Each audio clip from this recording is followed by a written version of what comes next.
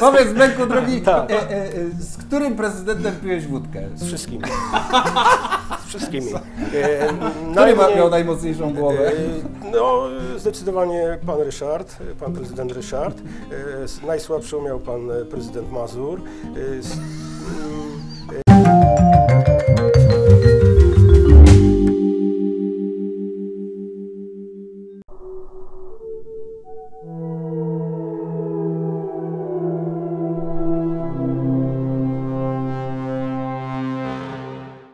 Paweł gotowy?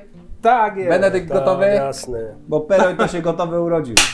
I want to believe, czyli rozmowy niereżyserowane. Naszym i Państwa gościem w dniu dzisiejszym jest nie kto inny, tylko najstarszy z dziennikarzy zawierciańskich, Benedykt Freihofer. Benedykcie, witamy Cię serdecznie. Nestor zawierciańskiego dziennikarstwa. Tak. Witam. Pra, praojciec Państwa dziennikarstwa le, lokalnego. Witam twórców Zawierciańskiego Szkła Kontaktowego, największych prześmiewców Zawiercia.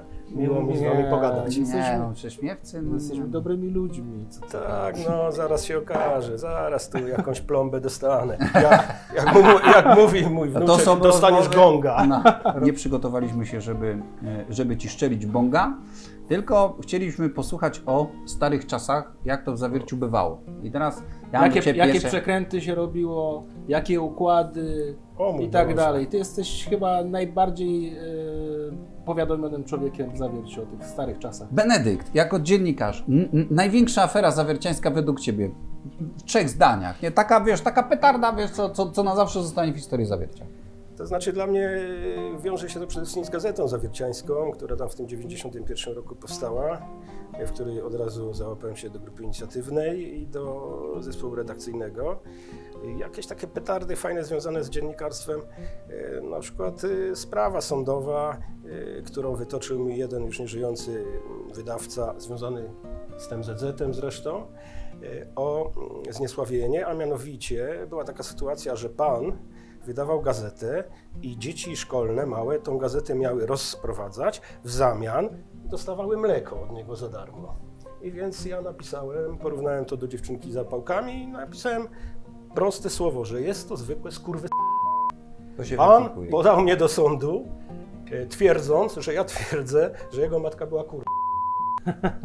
I, i w, owych cza, w owych czasach y, suma była 100 tysięcy złotych do zapłacenia Ojej, przeze mnie. Na szczęście trafiłem na młodą sędzinę, która po prostu gościa wyśmiała i sprawę umorzyła i oddaliła.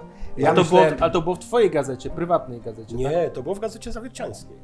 To było za czasów No to pana chyba długo tam- Konrada Imielskiego. To chyba tam długo nie, za, nie zagrzałeś w tej gazecie. W Po, tak, gazecie po zag- takich tekstach. I ktoś, bo ty byłeś To- redaktorem naczelnym, ty puściłeś takie słowo w gazecie, tak? Tak, y, wtedy był No nie, to było skór te, te, te, i kropeczki wykreowane. nie, nie, nie, było pełne słowo. Było pełne słowo. Wezwał mnie prezydent Imielski i mówi, bardzo mi się artykuł podobał, tylko mówi, niepotrzebnie użyłeś tego słowa. Ja mówię, no trudno, poniosę odpowiedzialność. A jeżeli chodzi o Gazetę Zawierciańską, z przerwami chyba byłem ze trzy razy redaktorem naczelnym. Gazety samorządowe to mają taką specyfikę. Zmienia się władza, zmienia się redaktor naczelny. Tak. Jest pić na wodę, y, chcecie o aferach. Y, Do dnia dzisiejszego, od czasów pana Flaka, wszystkie konkursy w mieście zawsze były ustawiane. Ale na co? Ale na co? Czy na konkretną są, osobę. ale, na- to są, ale to są wiel, grube Wielkie słowa, słowa. to są wiel, to co ty? No ale ja to wiesz, przeżyłem, ja to przeżyłem. Ja, Co ty mówisz? Ja, ja za Przecież czasów... w mieście to wszyscy pracują tylko Tak, merytorycznie. Dziwny, Ża- dziwnym, trafem, ten. tak, dziwnym trafem jest jeden kandydat, który chwali się trzy tygodnie wcześniej, idzie już oglądać e, swoje nowe gospodarstwo i się chwali, że będzie, e, będzie dyrektorem. No, no, bez jaj. No. No. No bo Ej, on jest przekonany o swoim przygotowaniu merytorycznym i on wie, że reszta kandydatów nie ma przy nim szans. No, y, w, wczoraj tak, ale ja ci powiem, że ja myślałem, że ty powiesz, że naj, największa afera w zawierciu to było aresztowanie Ryszarda Macha, a ty... Y, y, y, mam mieszane uczucia, dlatego że ja byłem na tych wszystkich sprawach, słuchałem wyroku. To było dość mocno naciągane. Ja rozumiem, no facet popełnił przestępstwo, ale słuchajcie, 6 lat, y, patrzcie jakie teraz są afery. I Tak. ktoś zostaje uniewinniony, ktoś coś umarza i tak dalej, i tak dalej. Dla mnie prezydent Bach, moim zdaniem, był jednym z lepszych prezydentów Zawiercia. No ale może Nie wiem, tak czy się zgodzicie. mówisz tak, bronisz go, bo jesteś jego kolegą. Tak, ale... No, ale by- Może wódki, żeście Paweł, wypili. ale przecież Benedykt Freihofer Jest kolegą znany z wszystkich tego, jest prezydentów. kolegą wszystkich prezydentów. Wszystkim- Powiedz, Benku, drogi, Tak. e, e, e, z którym prezydentem piłeś wódkę? Z wszystkimi. Wszystkimi. E, Który najmniej- miał najmocniejszą głowę? E, No, zdecydowanie pan Ryszard, pan prezydent Ryszard. E, Najsłabszą miał pan e, prezydent Mazur. E, e, Najmniej, najmniej pił e, pan, e, najmniej pan Roman Flax. Jakbym miał tak oceniać prezydentów, tak. mimo wszystko jednak Rysiek Mach e, był chyba najlepszym gospodarzem. Dlaczego? Że potrafił wszędzie e, załatwić. Często przy użyciu butelki, ale, ale załatwiał. No ale w Polsce jest taka tradycja, nie wszystko Taka jest- można tak, kupić, ale Oczywiście, oczywiście. Jak za stówę nie kupisz wszystkiego, ale za flaszkę załatwisz wszystko. Za, o, o, tak. Y, Fajne takie też przypadki, że wielu prezydentów, a już nie ciągcie język który, y, nie byli zbyt tam kumaci i zazwyczaj opierało się tak, że był telefon do mnie albo do Andrzeja Borkiewicza, a często razem żeśmy z Andrzejem, to wiecie, nie? Z Andrzejem to my często żeśmy sobie tam razem Siedzieli. Siedzimy i, Pracowali. i tyle, jest telefon od jednego z prezydentów. Słuchajcie, za godzi- e, słuchaj Benek, za godzinę mamy jakieś spotkanie, muszę mieć przemówienie. Na jaki temat? No rzuca temat. No to dobra, za godzinę jestem. Mówię, Boruwa, piszemy. Boruwa do komputeru, w sufet popatrzył, cyk, cyk, cyk, cyk, cyk, cyk. Ja mówię tylko, za, jeszcze to, jeszcze to, cyk, cyk, cyk, cyk, leć. Później patrzymy, spotkanie jest, a prezydent, który był znany, że z tego, że no, ani, tak trochę ani by ani kurku, czy, cytuję Konopnicką, cytuję jakichś tam Leśmianów i tak dalej, i tak dalej, ja, ja. I, i, i tak, ale nie było za to żadnego wynagrodzenia, więc na czym się opierało? Flaszka. A, Ale potrzebna według Ciebie jest taka gazeta... mm, papierowa. Nie, nie, chodzi mi o gazetę wydawaną miejsk, miejską. Nie informator, który powiedzmy, tak jak teraz jest tam parę, parę, parę informacji z kultury, co się, to jest taka naprawdę gazeta Mieszko, teraz to pro, promocyjna prezydenta.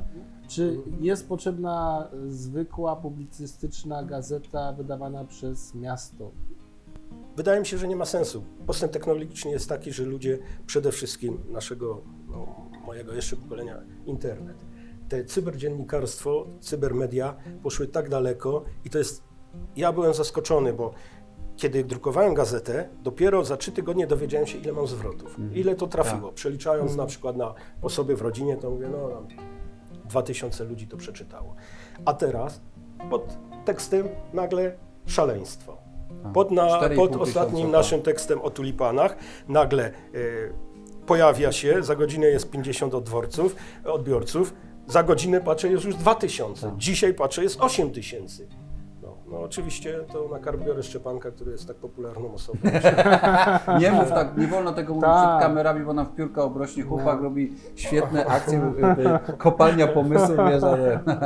Także no tak to myślę, że Czyli nie ma szans, mówisz, że gazeta- gazeta nie ma- nie ma szans- nie ma no sensu przecież jest informator, wydział, który powstał, który miał być wydziałem dialogu społecznego, y, informacji i tak dalej, jest li tylko wydziałem kreującym wizerunek prezydenta. Nawet nie propagandę, tylko wizerunek prezydenta. Ja mam, szczególnie Ale mam dość i powiem to wprost, kiedy widzę dzisiaj czy wczoraj infantylny tekst. Mamy to! 40 tysięcy na galerię. 400 tysięcy. 400 400 tysięcy. Mamy to! To no tak napisali, bo był projekt, no i teraz na siłę będą remontować tą galerię. Przecież co tej galerii tam brakuje? Tam nic cudów, no pomalują ściany na nowo, wygładzą na inny kolor, może jakieś oświetlenie, wszystko na ten temat. Mamy to. Widzę komunikat. Y, Nie ma gazu w blokach tym a tym. Kto? Prezydent miasta pisze osobiście. Jaki kurczę ten. Za dwie godziny awaria, drodzy mieszkańcy, usunięta. Brawo! I widzę klikania, polubienia, rozwijam listę. No. Ale może nie lubisz prezydenta i ty jako Nie, stary propagandistę. Nie, cię bardzo to denerwuje, no, że ktoś Nie, nie. robi dobrą propagandę. Nie, no bardzo, no ale zat- zatrudnił samych fachowców. E, Ludzi, których zatrudnił, znam od takich. Tak? Kogo? No, Patryka Drabka, O. przecież współpracował z Gazetą Zawierciańską. No? Pamiętam od małego. Pałęgową, panią Monikę, y, tą panią mm, małą. Bana, Justynę, tak.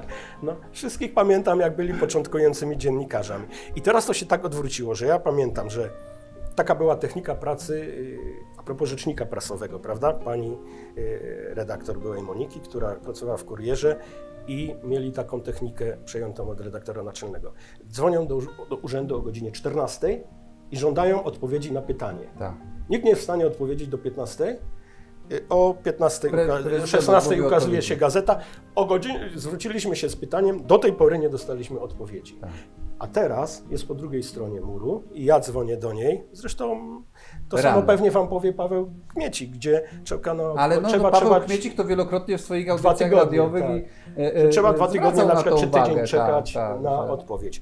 E, Odpowiedzi są, e, mam, to wiadomo, mam przygotowany tekst o monitoringu w zawierciu, bo tak się bardzo tym chwalą. E, Przesłałem go teraz, dostałem odpowiedź od pani rzecznik, e, mam wyszczególnione ulice i tak dalej. Pięknie jest, no monitoring i tak dalej. Pytam się fachowca, on mówi, no Benek, jest e, na przykład na Wojska Polskiego kamera wisi. Co z tego, jak jest niepodłączona? No, trzeba ją zweryfikować teraz na policji. Czy- Skoro dali mi, zresztą niepotrzebnie, nie musieli mi dawać, gdzie te kamery są. Prawda? Takie są prześmieszne sytuacje i powiem wam, że pan prezydent Konarski cały czas jest moim przyjacielem. Uuu. Tak, tak, piliśmy wódkę, e, naobiecywał Złotych Gór, ale po dwóch... e, Pamiętam rok temu Paweł Kmiecik w audycji pytał mnie, jak oceniam pierwszy rok działalności prezydenta. A ty byłeś u Pawła Kmiecika na wywiadzie? Tak, tak. Tak? Tylko jeszcze wtedy to były takie To nie fajne... był gość dnia, tylko... Były tylko telefoniczne. No. Siedziałem w domu przy kawie i, i szło. No i, i Paweł się mnie pytał, jak oceniam kadencję. Ja mówię, dajcie spokój chłopakowi, dopiero rok, pięcioletnia kadencja, niech się rozkręci i tak dalej. E, Dzisiaj powiem, że nie podoba mi się to, co się dzieje w Zawierciu. Wizualnie niby to zawiercie się zmienia, ale to jest tak siłą rozpędu. To jak w samorządzie. Y, Pan Grimm y, coś załatwił, następny prezydent zbiera owoce, przycina wstęgi i tak dalej. Tylko u obecnej władzy nie podoba mi się to, że nachalnie służby pana prezydenta robią z tego sukces odnowy. A propos odnowy. Czyli e, e, robi tyle samo co prezydent Grimm, ale nie ma, e, że ale ma lepsze służby marketingowe, tak? Czy co? Ma lepsze, a czy robi więcej, tego nie wiem, bo urzędnicy i Po poznacie, tak. się odgrodzili od mieszkańców. Ja mam takie zdanie, że dla urzędników miasta, starostwa, pandemia to jest coś Jak to? niebywałego. Przecież Prezydent się chwali, urzędnik do ciebie przyjedzie do domu. Tak, tak, tak, tak, tak. Trzeba już to by, trzeba by kiedyś poprosić. Już to widzę, już to widzę. Y, y, Ja go mogę zaprosić, tylko że nie odbiera ode mnie telefonów. Kto? Pan prezydent. Może ja zaapeluję. Łukasz, odbierz ode mnie telefon, pogadamy. Ja, I a propos tej przyjaźni, ja wam powiem, y, Ale ty się z wszystkimi Jaką, przyjaźnisz, tak, tak? jaką ja mam koncepcję przyjaźni. Łatwo się jest przyjaźnić z kimś idealnym. Przecież przyjaźń tak, polega znam, na tym, mną. Tak. też macie swoje za uszami. No. Chodzi o to, żeby przyjmować kogoś takim, jak jest, z wadami, y, z potknięciami i tak dalej, i tak dalej. Na tym chyba polega przyjaźń, a nie tam.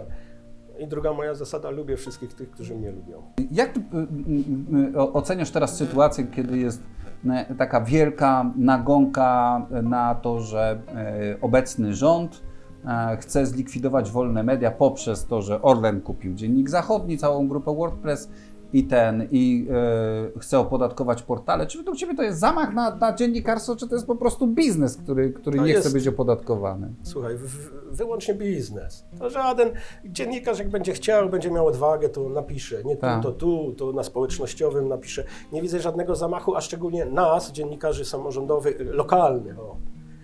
To nie dotyczy, bo ja żadne... Jeżeli dostanę jakąś reklamę, to i tak odprowadzam podatek. A tam są pułapy milionowe.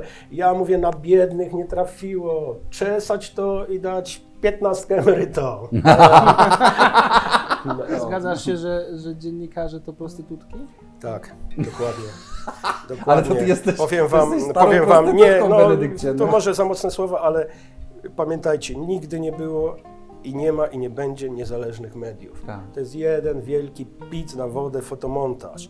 Jest ktoś, kto wyda, daje kasę, Kasę, tak. jest wydawca, dziękuję.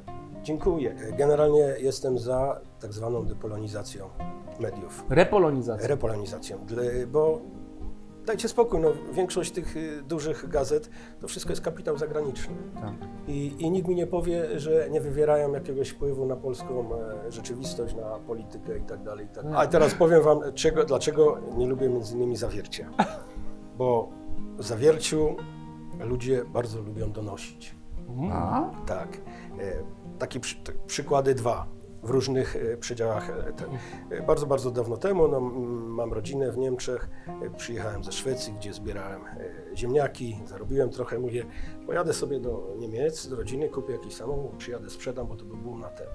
I pojechałem i praktycznie, praktycznie ze szrotu, już auto szło na szrot, BMW 10-letnie. Dzisiaj to jest ten. Przywiozłem pierwszy metalik srebrny, zawierciu i tak dalej. Wyobraźcie sobie, podjeżdżam tylko do szkoły do żony, pokazać, wracam do domu, stawiam pod klatką. Za godzinę była milicja.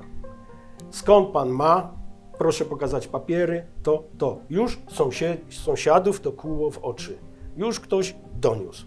Okej, następna sprawa. Zresztą o tym pewnie słyszeliście, to już e, sprzed paru lat e, pani radna, moja ulubienica, e, doniosła na mnie, Jakaż to? pani radna Ewa, doniosła na mnie i na jedno- jedna jeszcze jednego Ewa. z moich kolegów dziennikarzy, mianowicie o to, że na moim portalu y, była niepełna stopka redakcyjna. Mianowicie nie było y, nazwiska redaktora naczelnego, natomiast był telefon, był adres, był wydawca, nazwa firmy i tak dalej. I Stąd policja mnie błyskawicznie wyłapała i tam sprawdzali mm, papiery, wszystko ok. Pani radna, która mnie doskonale znała, już wtedy od 6 lat, Która cię bardzo reklamowała, bardzo mnie lubiła, reklamowała się u mnie za darmo w, każdych wyborach, pisała artykuły. Pamiętam, jak była pierwszy raz radną, pisałem jej swoją interpelację. prywatę tutaj Tak, tak, tak. No, ale? Ale mówię o tym, No, mówię o tym Ale donosicielstwie. poczekaj, poczekaj, Benedykcie, poczekaj, bo żeby była jasność, bo do, jakie zarzuty do nas e, e, napisano? Jakby Łukasz Rabuła, on to, żeście go nasłali, bo, bo, bo coś tam Pytania mówi. Jak był, żeby- tak, żeby Jak mówił- był Myszkowski, to o, żeście go, specjalnie żeście go wybrali, bo to jest taki. My nikogo specjalnie nie wybieramy. Masz ochotę przyjść do naszego programu? Zapraszamy. Masz odwagę powiedzieć o tym, co cię boli? Przyjdź. Wszystko na ten temat. Peroń, Peroń z Zabłockim Cię wysłuchają, bo my odpowiedzialności za treści nie bierzemy. To jest w końcu program rozrywkowy. Oczywiście. I Wszystko jest w formie kabaretowej. Jakież było moje zdziwienie, kiedy zobaczyłem zeznania i pani Ewa i pan wtedy referendarzysta pierwszy, pan Zamora, bo oni razem donieśli, napisali, że oni nie wiedzą, kto jest redaktorem tego portalu, oni go nie znają i tak dalej, i tak dalej. No, krew mnie zalała. Chciałem No to ruszyć. dostałeś? Dostałeś coś? Dostałem e, ówczesny pan Nowak, e, prokurator, który nie żyje, zresztą przesympatyczny człowiek. E, chyba polubił mnie, bo jak przyszedł, to, to zrobiłem z nim pierwszy wywiad. Zresztą bardzo pozytywny. Ta- I, I rozmowa Trzeba było jest, się jakoś wkupić. ja, ja na policji i ten. Ja mówię, nie będę się wygłupiał, poddaję się dobrowolnie karze. No bo co miałem Tak. zrobić? No nie- do rozprawy, dowalą mi tam coś tego. A dzwonią do Nowaka, Nowak bierze, pan prokurator Nowak bierze telefon, mówi, no dobra, to proponuję 1000 złotych. Ja mówię, nie, no znamy się tyle lat, 500, 600, okej, biorę. Krakowski targ z prokuratorem. Nieżyjący, więc możemy. Ale i, i jeszcze a propos tej osoby, pamiętam wybory, któreś samorządowe, w których startowałem z listy e, pana Stasia Sokoła e, Spółdzielni Mieszkaniowej i wtedy bardzo już polubiliśmy się z e, dzisiejszym panem prezydentem i razem żeśmy sobie kombinowali. I na przykład powiesiliśmy sobie pl- plakaty, pamiętacie na Podkowie był e, pani Hanslik biuro poselskie, Tak. która nam pozwoliła i w oknie powiesiliśmy. I drugi taki moment był, że jeden z moich przyjaciół y, powiesił nasze, y, mój wtedy baner na balkonie swoim. No i niestety pani Ewa doniosła do ZGM-u, powołała się na przepis, że na blokach Komunalnych do nie można, gminy tak. nie można wieszać. Co I musieliśmy to z, razem z panem Konarskim, poszliśmy, zjadliśmy y, te plakaty. Wierzę w to, że wszystko, co powiedzieliśmy, to jest prawdą. Wierzę w to, że historia zawiercia pełna jest takich bawnych historii. Wierzę w to, że kiedyś y, każdy, kto był na tej kanapie, stanie się częścią takiej historii. I wierzę w to, że Benedykt Freihofer nadal przez wiele lat będzie nas cieszył swoimi opowieściami na temat zawiercia, prezydentów i tego, kto z kim śpi i kto komu e, nogę podkłada. Dziękujemy serdecznie. Naszym Państwa gościem był Benedykt Freihofer. Benedykcie, szalenie Benek, a ty, a ty, ty rozwiejesz w końcu Dziękuję. wątpliwości, jak ty się w zasadzie nazywasz? No, jak ty się nazywasz? Bo ty, ty się piszesz, ty się mówisz E, Freihofer, a Nie, piszesz się... ja mówię Freyhofer, żeby było prościej. Frey Natomiast czy Frey? Frey mówię, ale normalnie y, w dowodzie mam jeszcze umlaut, czyli dwie kropeczki, ale większość urzędników nie potrafi tego wpisać, więc tak różnie. Czyli ale w przez- dowodzie, przez czyli E i- Ale no, to powinno być jakieś- Freihefe. coś takiego. Freihefe.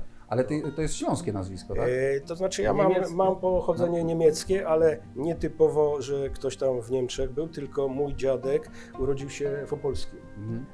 e, w miejscowości Milicz, a tak. to było, do dziś jest w niemiecka. nomenklaturze niemieckiej, to, jest, to są niemieckie ten, więc każdy tam miał. I zresztą potem część rodziny, większość braci ojca wyjechało na stałe do Niemiec. Dobra, to teraz ja tak. pytanie mam do was. No, Nie, patrz, to nie patrz. wolno, no. No nie, Nie, no rozmawiamy o wszystkim na ludzie. Co powiecie na, ja już sobie to tak nazwałem robocze, aferę seksualną w zawierciu? ale co, co to znaczy? Ty chcesz być... Doniesienia, Ty chcesz doniesienia być na... głównym bohaterem, czy co? Do, Bo ja nie do, rozumiem, czy my doniesienia... mamy być Nie, bohaterami? nie, no, no, no, kiedyś się wybierzemy, możemy Znaczy my nie. w przeciwieństwie do naszych e, oponentów jakby e, politycznych tudzież ludzi, no my nie mamy w zwyczaju, e, wiesz, m, m, w ten Mhm. sposób działać. To jest, to jest bardzo nieprzyjemna sytuacja zarówno Znaczy, dla... no, moje zdanie jest takie po prostu, że w każdym normalnym kraju, mieście, w każdym, gdzie jest normalny prezydent, e, cytując Nikosia Dyzmę, to jest dyma, natychmiastowa dyma ze stanowiska. Tak nie może być, żeby na, w mediach społecznościowych e, filmiki szły, że ktoś tam żonę bije, że ktoś tam kogoś tam na biurku i tak dalej. No bez jaj. No. Z, z drugiej strony ja tego gościa podziwiam. Nie? No, fajnie, no, jurny chłopak i tyle, no ale... Ale, Słuchaj, ale, no, ale nie do przyjęcia do mnie. To, Ale to jest i tak za to grubo. jest bez winy, niech pierwszy Rzuci rzuci kamień. kamień. Aha, aha. Czyli ja wam powiem inny przykład mowy, która mnie w zawierciu strasznie denerwuje. No. Że pan w zawierciu nie mówi o swojej żonie moja żona, moja kobieta, tylko moja. Bo moja powiedziała ta, moja mi nie chciała dać, moja to, moja to. No Ale kurde, mnie to ale tak lepiej, wkurza. lepiej moja niż moja stara. Ale, ale najładniej by było moja e, małżonka.